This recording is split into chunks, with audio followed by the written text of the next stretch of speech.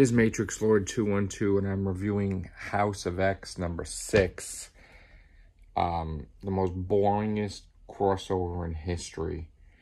Uh, I feel like I'm reading or watching C-SPAN.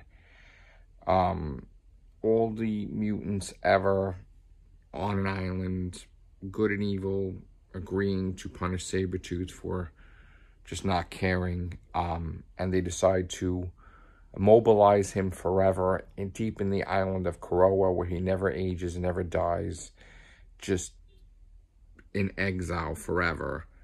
And they're all partying with each other.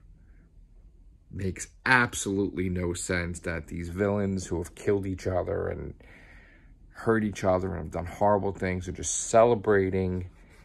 And it just is the stupidest effing thing I've ever seen in my life.